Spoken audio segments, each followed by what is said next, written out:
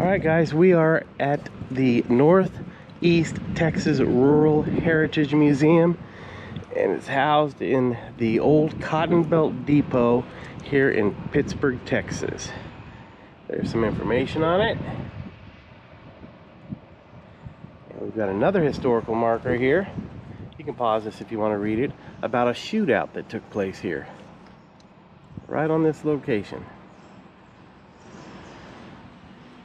And this was a working train depot until 1968. Now it's a museum. So let's go in and check it out. Hey guys, before we get started on the tour of uh, this museum, I wanted to preface something with you. One of the big attractions to this museum is the Ezekiel airship, which I thought was the first airplane or aircraft to actually fly. Well, it turns out that it did fly before the Wright brothers ever got their plane up off the ground. But in order to make it official, at that time you had to either have film footage documenting that it flew or some other good type of uh, documentation proving that you had actually lifted off the ground. Now, the Ezekiel airship that you'll see in this video did actually fly for about 150 feet. But there was only three or four spectators there that actually witnessed it. So I was under the impression that that makes it the first plane that actually flew. Not officially. What makes it official is the documentation. So there was actually several planes or aircraft that flew before the Wright brothers, but they were the first ones that had the actual documentation of theirs flying. So having said that, enjoy the video. All right, guys, we're inside the museum, and this is the star attraction here. This is the Ezekiel airship. This is a reproduction of the original and this contraption flew in 1902, almost a year before the Wright brothers were able to fly. And some interesting things about this ship. If you look closely, there's actually two sets of what looks like wheels on each side. Actually, there's four of them, but um, the outer wheel spins forward and the inner wheel spins backward where the paddles are to create lift.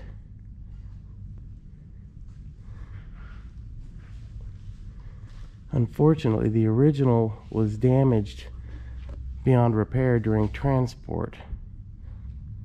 And this airship flew 10 to 12 feet off the ground for about 150 feet. And then it had a vibration and the pilot became scared of the stabilization of the aircraft and shut the engine off and it crash landed. Damaged the airship. He had it rebuilt and then it was damaged during transport. And the city of Pittsburg decided to recreate it and built this exact replica of it but this was the first I guess you'd say airplane that ever flew.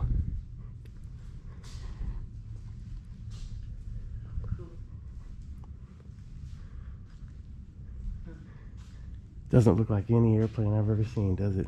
No. And from what we understand, it flew more like a helicopter than a plane. It's amazing.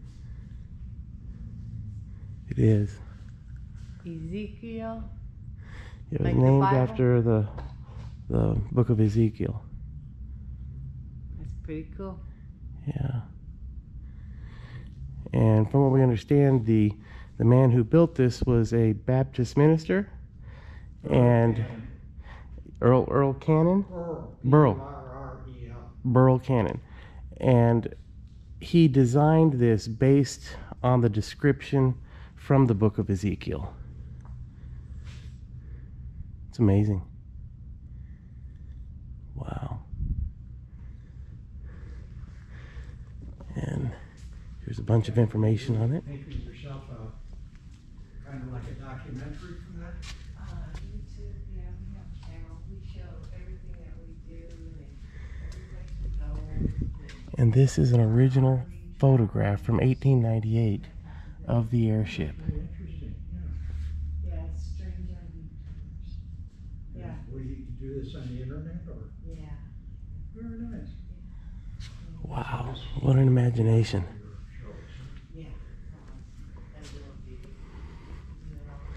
And the local residents of Pittsburg here were the ones that financed the building of the original airship. Great, that's great. And the museum here added this entire annex on just so they could display this once the city had built the exact replica. This is what it looked like when it flew. There were some kids on a fence post that were witnesses and a few other bystanders when it actually flew. I want to tell you something about the motor. But I don't want to interrupt his discussion. Okay, he's got something to tell you about the motor. Okay. Okay.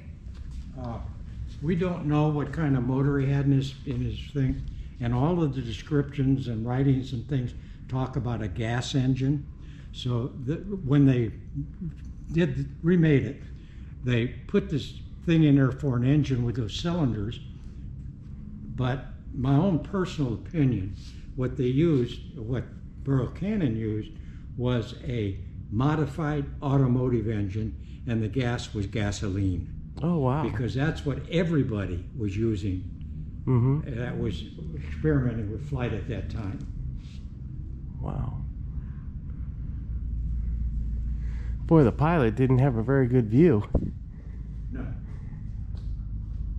That's amazing. pretty much you stuck with looking straight ahead. Yeah.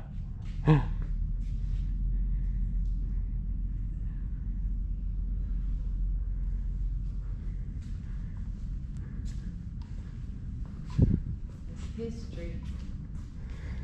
So in East Texas, they claim they have the first airship that ever flew. Okay. Uh, actually, the first airship that ever flew was the Wright brothers. There were people that flew an airship before that, but that was not repeated, or it was not controlled, or it was not documented. Okay. So, you know, that's really not having flown. Yeah. The Wright brothers were the first ones. And I'm sure there were people before Burl Cannon that flew. We, we don't claim that he was the first one to fly, Okay. but he was unique. Yeah. You ever see an airship that looked like this? No, not at all. It looks like a big parachute. Yeah. It looks like something from a Jules Verne novel. Yeah. uh, thing from this little town of Pittsburg. Po- A population of about five thousand. We had a guy flying an airplane. We also had Carroll Shelby. Uh, he- Carroll Shelby was an automotive engineer, race car driver, uh, and he worked for Ford Motor Company in Detroit.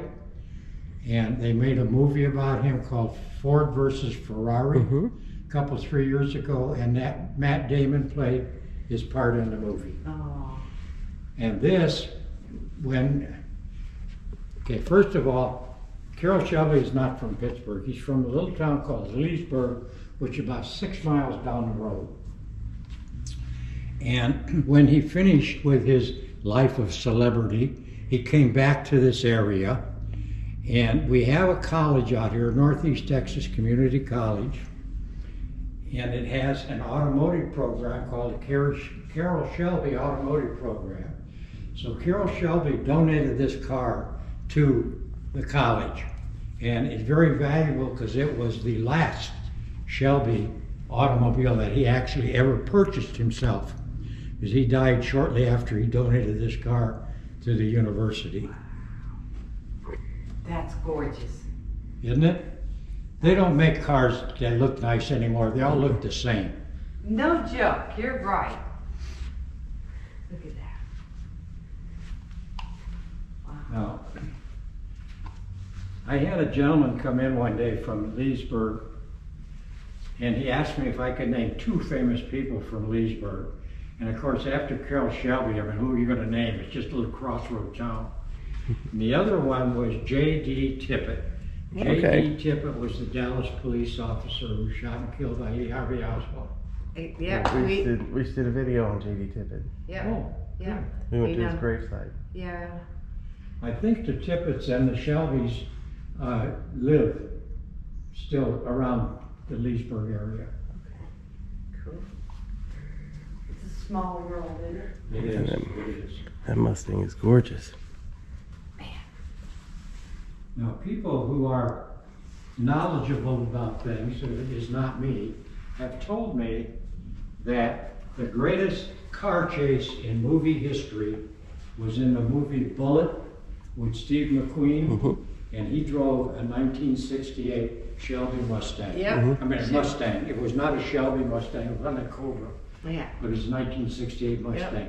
And I think it was the same color. yeah. Yeah, it was. It was. Yeah. You see. Pretty. Now, another interesting thing about Pittsburg is, is a 1925 Model T Ford.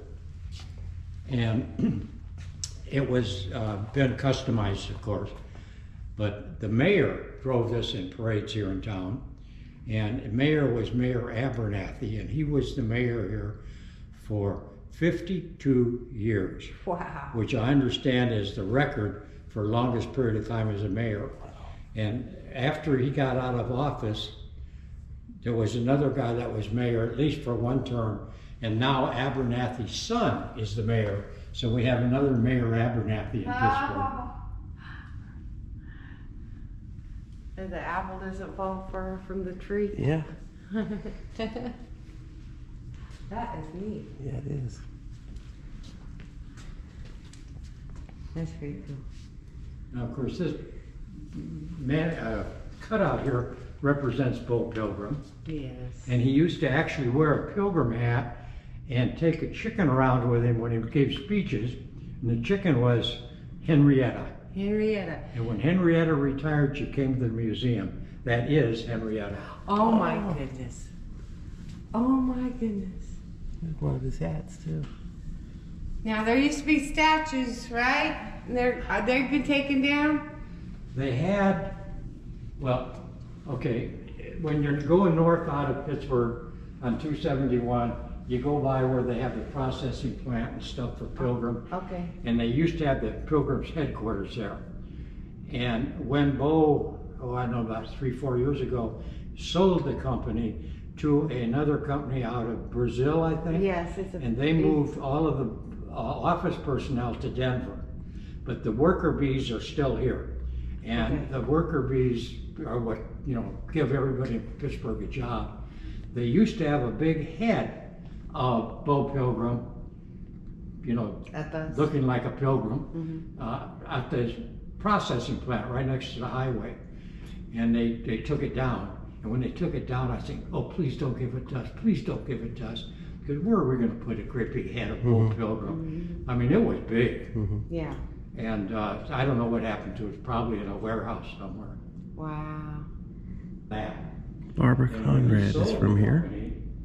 Company, uh, they She wore this dress when she appeared at the Lincoln Center they were the concert. biggest poultry producer in the world. From a little bitty town of Pittsburg, it's just hard to believe. And of course, Got some critters here. Was an opera singer from Pittsburg, and that gown in there, she wore that at the Metropolitan Opera in New York.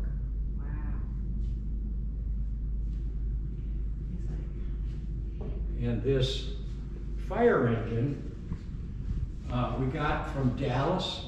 It's a 1925 French-built fire engine. And it has a chain and sprocket transmission, which is kind of unusual. Wow, Wow. that's huge. And this is what it looked like when we got it. And the local fire department volunteered to restore it. And as you can see, they did an absolutely fantastic job. Yeah. They uh, used to run this in parades here in town, but after they moved it in the museum, too big a hassle getting it in and out. But as far as I know, it still runs. Wow. Yeah. It's gorgeous. Now, when they were restoring this, they no longer made the tires the right size. And as I understand it, Goodyear customized these tires for us. Wow. Look at the detail. Yeah. Yeah, they did a really great job on it. It's really nice. The bell still works. When little kids come in here, I let them ring the bell, and they get a big charge. I ring the bell on the fire engine. We're Battery not sits supposed to outside. do that, so. Oh, okay. This is what the vehicle looked like before restoration.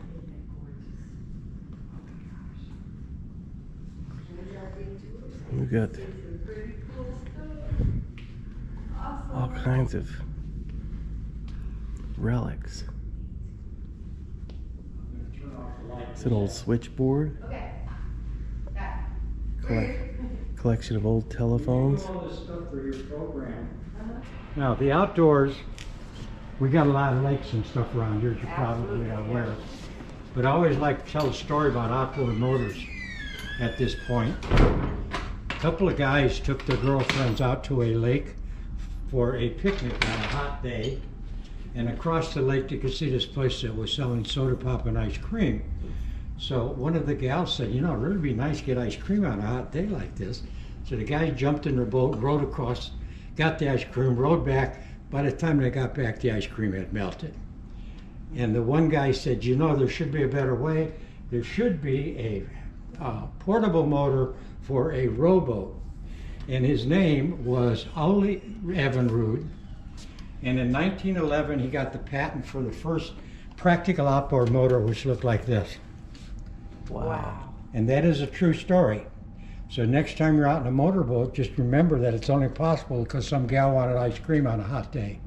That's pretty neat. And her name was Bess, and she married Ole, and they lived happily ever after. Oh, Wow. that's pretty neat. A see-through gas pump. Ferguson. Is this the one like John has, Greg? A Is it? Ferguson? His is a Massey Massey Ferguson, I think. Yeah, there's, Yeah. yeah.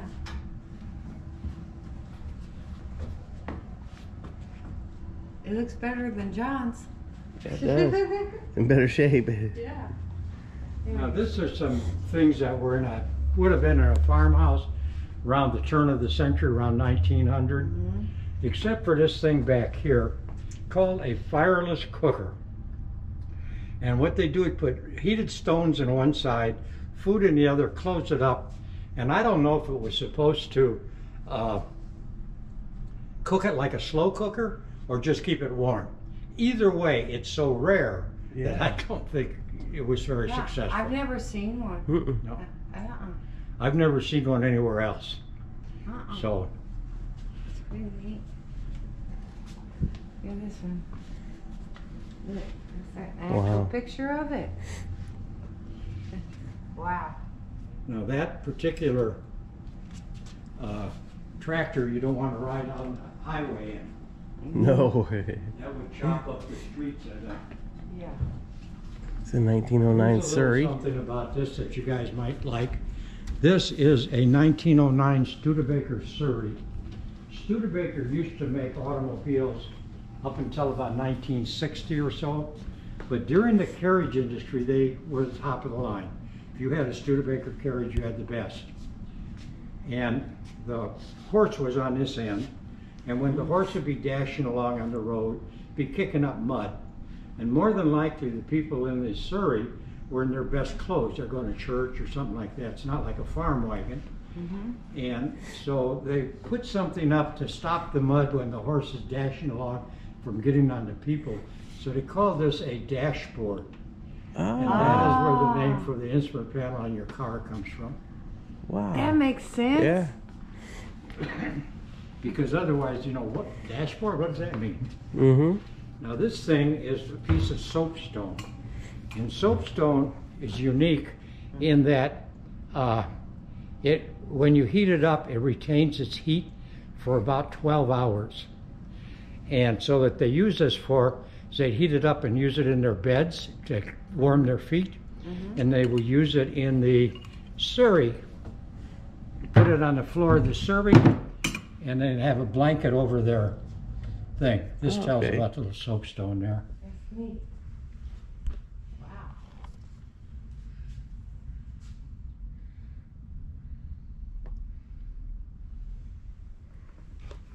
Wow. That's nice. Uh, we get a lot of second and third graders in here on field trips from school, and I like to talk to them about the eggs. You know, there are two different kinds of chicken eggs there's fertilized eggs and non fertilized eggs. Mm-hmm. And I asked the kids, how can you tell the difference? Do you know? No, I don't. Okay, they candled the eggs. They actually took a, a candle and shined the light in the egg. Okay. Nowadays, of course, they have electricity. This has a uh, light bulb in it, and you put the, can- the egg on there, and the light shines in it. And Okay. if there's a dark spot in the egg, it means it's fertilized. No dark spot, it means you give it to the store or whatever. And if you're raising your own chickens, they're going to be free range chickens probably. Yeah. Then you've got, you know, you don't know if they've ever been with a rooster or not. Right. So you probably want to candle them. I remember when I was a kid, you'd break an egg open, and every once in a while there'd be a little baby chicken in it. Oh, Oh, You know. yeah. Now, the eggs that they keep that are fertilized, they put in the incubator and they close it up, and the little heater on there heats it to about 100 degrees, which is about if mama hen was sitting on it. And about 20, 21 days, it hatches into little golden chicks. wow. All right. And here we got the barbed wire display. Yeah. Everybody has one. Yeah. ranching is in this area, but we're probably more dairy cattle than beef cattle. Mm-hmm. In fact, Sulphur Springs has a dairy museum. Mm-hmm. Yep. Uh, but this, I don't know where we got this. People donate things to the museum, you know, and this predates me. But what this always reminds me of is some kid that had a scouting project for a merit badge There. and put together the barbed wire collection. It's a mechanical saw. A big Put a- mechanical saw. Put a lot of work in that, and he would not have been able to have any use of it without donating it to the museum. So good for him. Wow. And then, of course, timber. This is the Piney Woods part of Texas, so we have timber. How do you like our chainsaw? That's massive. Yeah. Wow. How you gotta be some burly man to be. Yeah, back when One- men were men, they did this. I don't think I would have stood up for it very long. Yeah. Now, one of the interesting things about this particular chainsaw is you couldn't turn the motor because you'd spill the gasoline. Mm -hmm. So what they did was this thing here releases the blade and you turn it, lock it in place and cut this way, Oh. and then cut this way without turning the saw. Yeah. Wow. From the 1880s. And this part over here is uh, Western Union. the telegraph people that do not actually belong to the railroad, but because the telegraph lines are all on the railroad tracks, the ideal place for Western Union is in a train station. So they would typically lease space in train stations.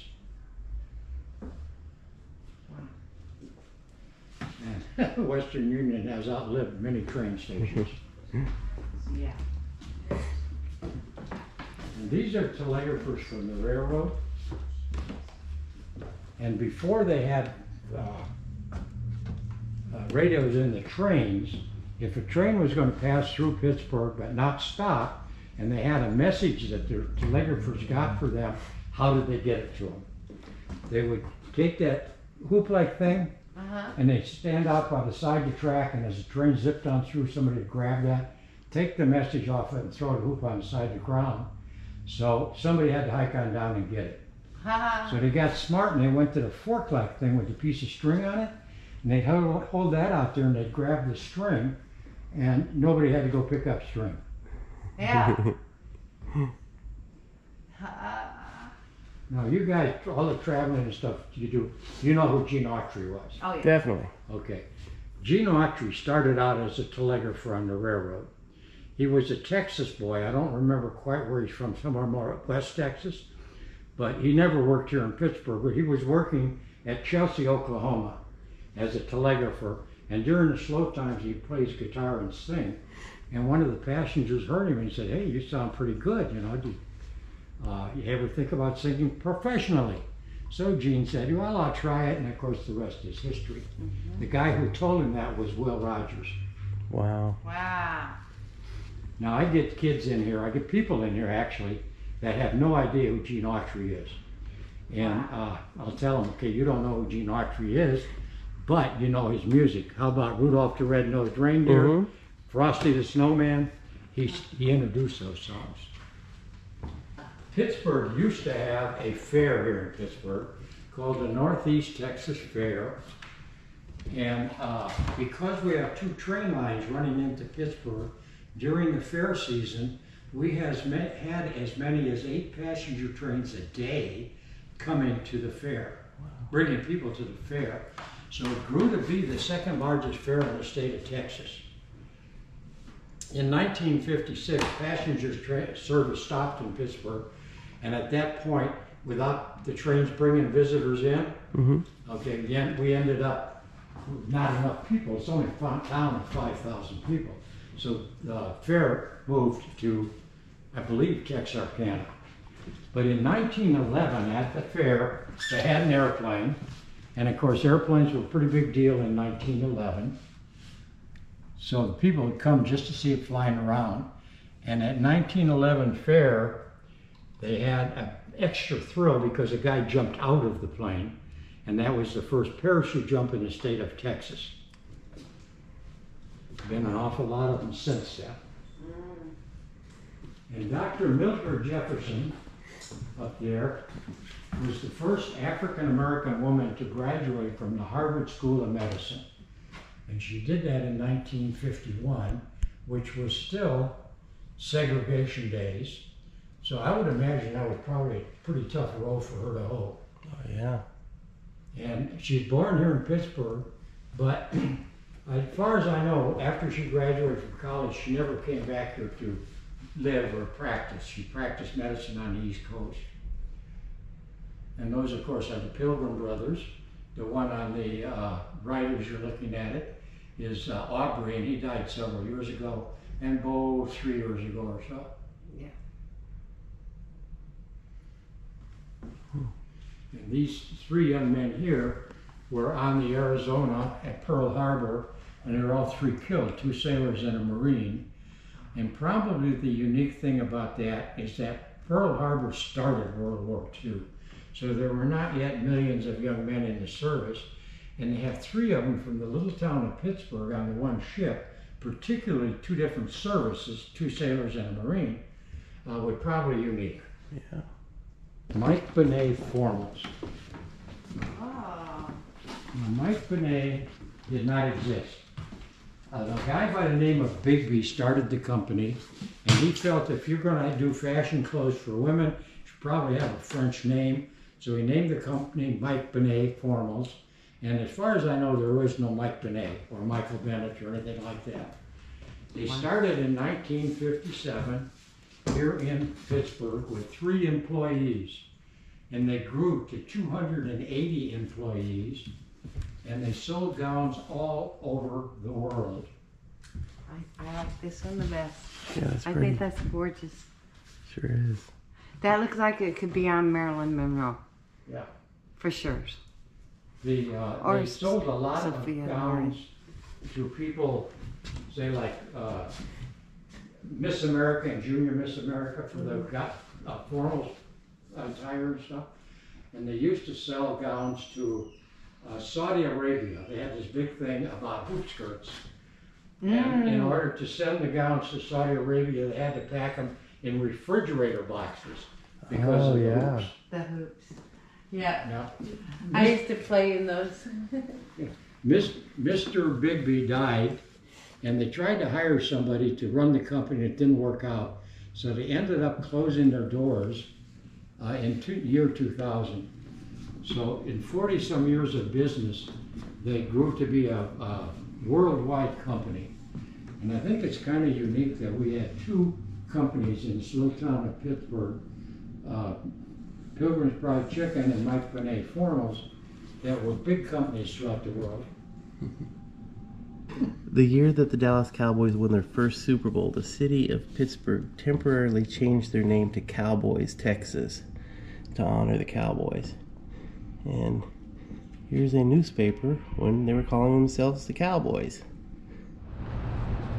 Well, guys, this museum was awesome. And Jim was awesome. And I'm going to look up, I got his email address so I can get his stories and stuff. He's a history buff too. So, you guys, thanks for watching. And uh, put the thumbs up for us and subscribe and, and share with your friends. And have a wonderful day. Take it easy, folks. Strange RV tours will take you places with Greg and Janet's smiling faces. You might see a crazy flavored soda review or some tips to fix your RV too. So come along, won't you join us, friend, as we discover what's around the bend. Just sit right back in your easy chair.